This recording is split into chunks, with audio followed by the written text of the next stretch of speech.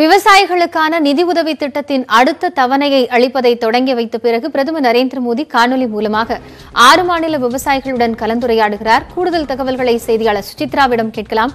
சுசித்ரா ஆறு மாநில விவசாயிகளோடு கலந்துரையாட இருக்கிறார். அடுத்த தவணை குறித்த அந்த தொடக்க விழாவும் நடந்தேறி இருக்கிறது. விவரங்கள்.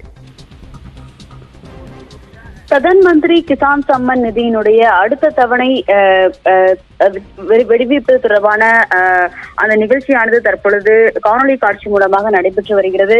கிட்டத்தட்ட ஒன்பது கோடி மா- அஹ், விவசாயிகளுக்கு பதினெட்டாயிரம் பதினெட்டாயிரம் கோடி ரூபாய் வந்து பி எம் பிஎம் கிசான் தவணை திட்டத்தினுடைய அடுத்த கட்ட நிதியாக தற்பொழுது இன்று பிரதமர் மோடி தற்பொழுது அஹ், அஹ், வழங்கியிருக்கிறார். அடுத்த இரண்டு மணி நேர நேரத்திற்குள் ஒன்பது கோடி விவசாயிகளுக்கு இந்த தவணையானது சென்று சேரும் என்ற ஒரு அதிகாரப்பூர்வ அறிவிப்பையும் தற்பொழுது அவர் இந்த நிகழ்ச்சியின் மூலமாக அறிவித்திருக்கிறார்கள்.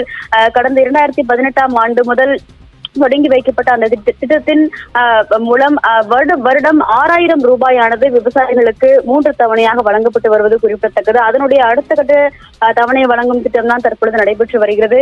இதில் தமிழகம் உத்தரப்பிரதேசம் பீகார் உள்ளிட்ட ஆறு மாநில விவசாயிகளுடன் தற்பொழுது பிரதமர் காணொலி காட்சி மூலமாக நேரடியாக ஆலோசனையில் ஈடுபட்டு வருகிறார். மிக முக்கியமாக பிரதம மந்திரி கிசான் நிதியினுடைய திட்டத்தின் மூலமாக எந்த அளவிற்கு விவசாயிகள் பயனடை அடைந்திருக்கிறார்கள் என்று என்பது தொடர்பான ஒரு அந்த ஆலோசனை தான் தற்பொழுது நடைபெற்று வருகிறது.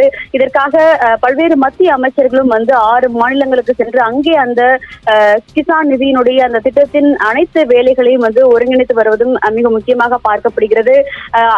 மறைந்த முன்னாள் பிரதமர் அடல் பிகாரி வாஜ்பாயினுடைய பிறந்த நாளை நல்லெண்ண நாளாக கொண்டாடி வரும் இந்த சமயத்தில் இந்த திட்டத்தினுடைய அடுத்த கட்ட தவணையை வந்து அஹ், பிரதமர் மோடி இன்று விவசாயிகளுக்கு வழங்கியிருக்கிறார். அதற்கு நன்றி சுசித்ரா இது குறித்த தற்போதைய தகவல்களை விரிவாக வழங்கியமைக்கார்